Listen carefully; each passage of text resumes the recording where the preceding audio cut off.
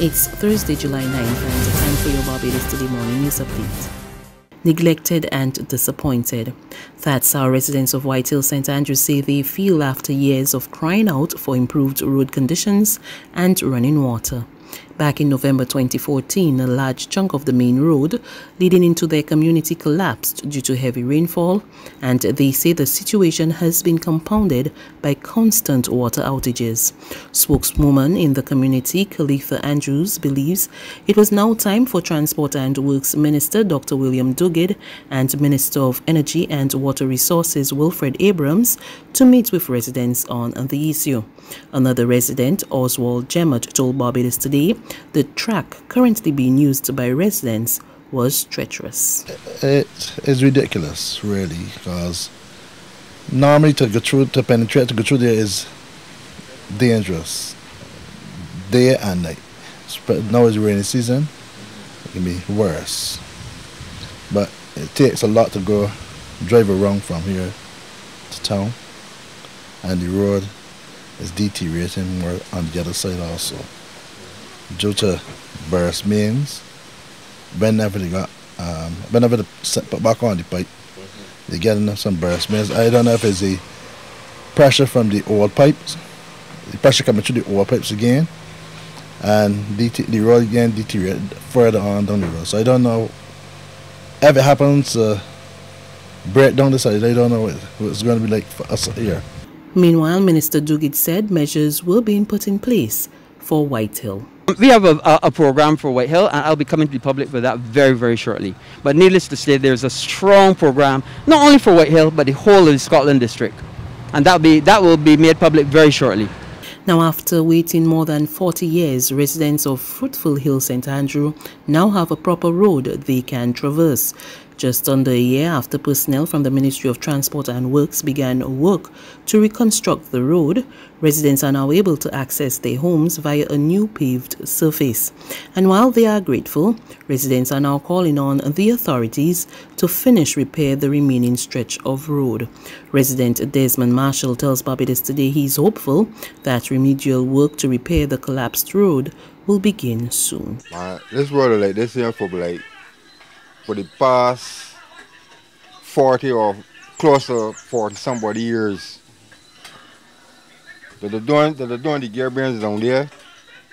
A guy get by that with the beads and they just, they just stop from fixing it.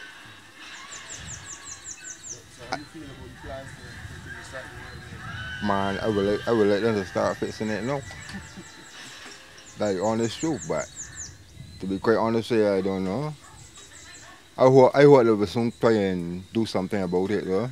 Authorities on Wednesday tracked down and questioned two young men caught in the act of illegal dumping which was caught on video. The dumping, which occurred at the beach at Needham's Point outside the Hilton Hotel, was filmed on Sunday and drawn to the attention of the Ministry of Health, the Sanitation Service Authority and police. SSA spokesman Carl Alf Padmore told Barbados today that after a six-hour investigation, the authorities were able to identify 23-year-old Ross Cobbin and 29-year-old Anthony Brathwaite in the video.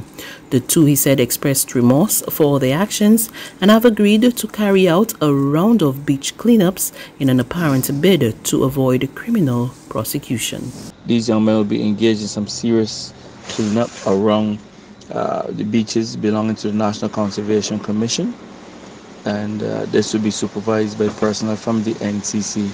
Uh, present at that meeting, we had the NCC, uh, we had sanitation, and we have public health. In other news, Barbadians are being urged to invest in the island's first ever renewable energy cooperative, the Barbados Sustainable Energy Cooperative Society Limited.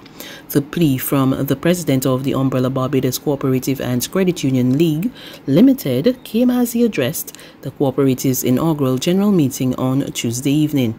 He revealed that foreign investors were already lining up to take advantage of the country's fledgling industry. If we fail to take action in the new renewable energy space now. There are players regionally and internationally that are on, already on island with the necessary resources to invest in this renewable energy opportunity.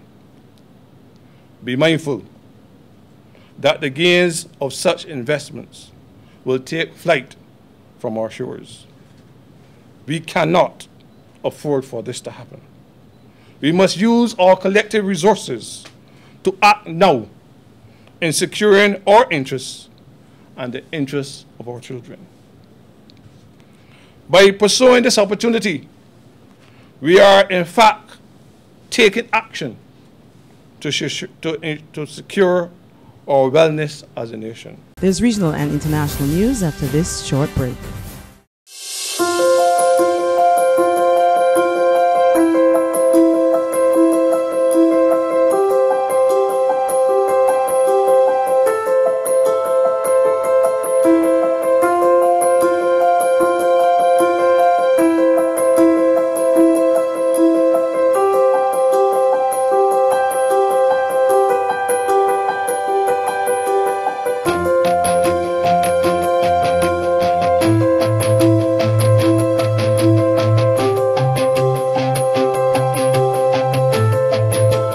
Barbados Today, news you can trust.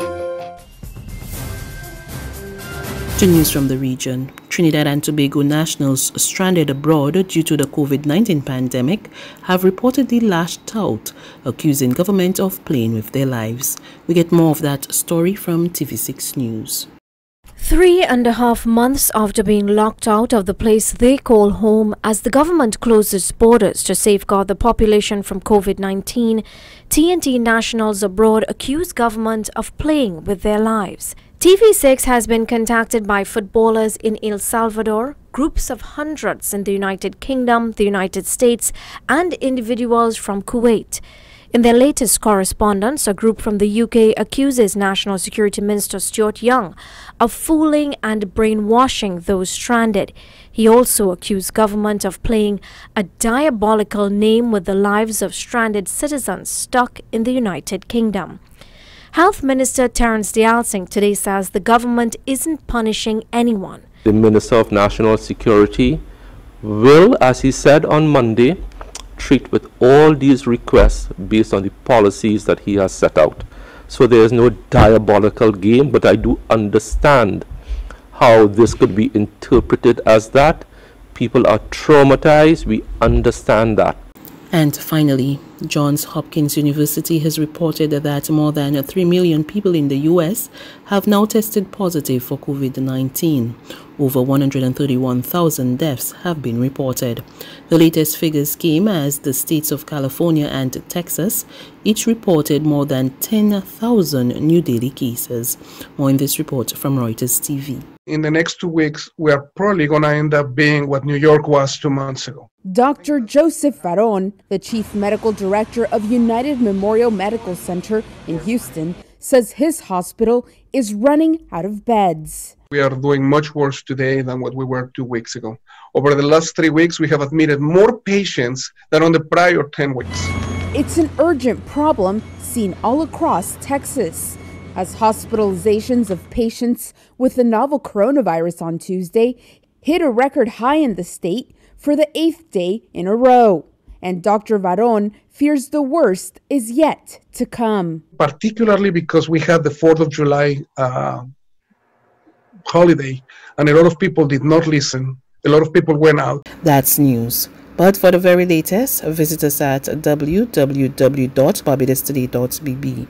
You can also subscribe to our e-paper, email updates, or like us on Facebook, and sign up for our breaking news alerts via WhatsApp. We're also on Izumi Media in bus terminals, as well as screenplay at supermarkets and gas stations near you. And you can also hear us on Mix 96.9 FM and Capital Media HD 99.3 FM.